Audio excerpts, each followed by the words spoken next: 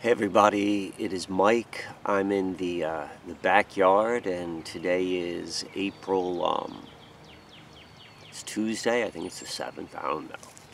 Um, want to uh, just share on some of the insights I had. Yesterday was a fun day. I went and ran some um, some necessary uh, essential errands. I had to get some food, and I had to stop by at my place of work for essential work. And so the first place which I went to was um, it was an Amish farm. It's where I get meat. You literally drive up onto this Amish person's farm.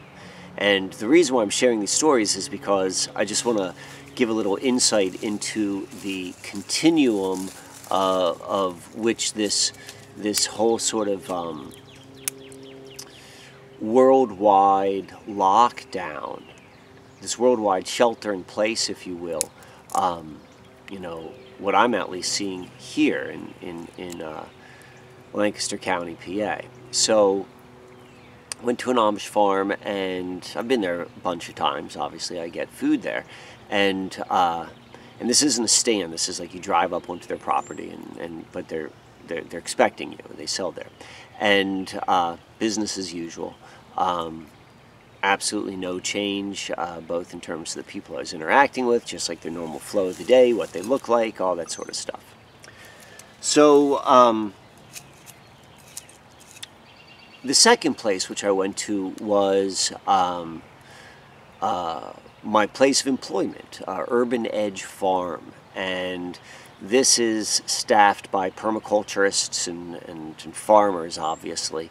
And uh, there was a little bit of a difference we uh, of how life has changed, but for the most part, there was a very high level of comfort with the way things are right now. Obviously, the um, the the uh, unknowing of what is to come, you know, that was that was new. But other than that, the actual like change in lifestyle, it really was not that big of a change. And then the third place I went to was a traditional grocery store. And that was friggin' nuts. It was literally outside of a different world. Um, and what was so strange was so many things that have been rolling out just so grassroots, so, so naturally. Um,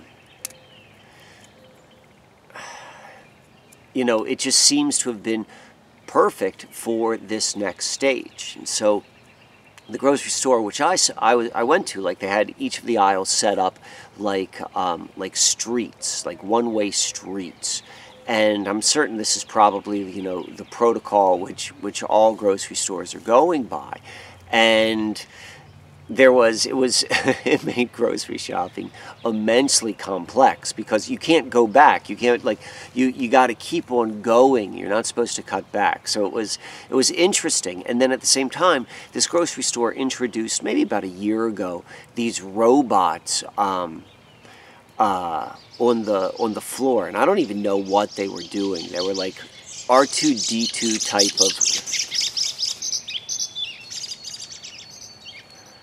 R2D2 like road bots, taller, but just like rolling around in wheels. And so uh, the first time I saw them a year ago, that was kind of an oddity. But but seeing them in this situation, is everyone moving like these automatons, and in this, uh, you know, almost like the only person in authority was the robot. It was the strangest thing. But this is the continuum. Um, this is the continuum uh, which I'm seeing, and you know, if you if you go and if you're paying attention, all the different storylines that are out there, there's a lot of different storylines, and um, this is really going to be the nature of all of these different talks, is getting into, um, you know, how to navigate the different storylines, um, how to recognize them. Um, and so forth, how to wake up from this dream, because there's uh, there's two things which which I'm seeing. I'm seeing like you know this one. Uh, um, this continuum of just like the outside world of um, of like the continuum of how this is affecting people from like going to get food from an Amish farm versus going to get food from a traditional grocery store, um, and how widely how how, how different that is. But the second thing, which is so interesting, and that, and that could be a little bit um, upsetting, I suppose, or, uh, but the, the positive and the upside is I also want to juxtapose this to what I'm seeing in my own life. Like look around me, like you saw the, you saw the birds behind me. Um, this is my backyard. Like I'm I'm renting some like rinky dinky house, you know, in this kind of like rinky dinky little neighborhood, and it fell in it fell into mine and Jenny's lap. Like in fact, we almost were resistant to it. We're like, ah, maybe this is too soon, and it was it was literally outside of our hands. Like you know, the moment we had that conversation, for some reason, I kid you not, there was a uh, we had this conversation when we were living in Marietta in two different apartments, and when after saying that maybe we don't take this house, this is back in November we walk across the street, Jenny and I do, to her apartment. We lived across the street from one another. And there was an envelope taped on her door saying, uh, you know, the owners of this building have decided not to renew your lease. Like, you know, she was no explanation, just saying, like, you're going to have to be out by January 1. And we had a place settle or, or available to us December 1. You know, that's this house. And so we just kind of went with it. And ever since then, like, all of this strange stuff has been unfolding, and there's this 57, which has been the the the uh, um, the foundation. And so now I'm watching this unfold. You know, I'm I'm I'm seeing it everything occur with some degree of awareness, and I'm trying to see the patterns in real time, and I'm sharing that with with those that are following along. But the reason why this I think is significant is. Um, welcome to my world. Like my world became what everyone else's world is like maybe about 10 years ago. And so I'm a little bit ahead of the curve maybe. And because of that, like I'm, I'm showing like a glimpse of what's possible or what's to come or what we, we can learn. And that's what this is all about is waking up from, from this artificial dream which has been placed on top of the real dream. And this was given to me. Like I didn't consciously, um, I didn't consciously, uh, um, uh, planned this and it is so grandiose like so much greater like connects greater uh, than my own like personal story that it's like it's a, it's a larger symbol.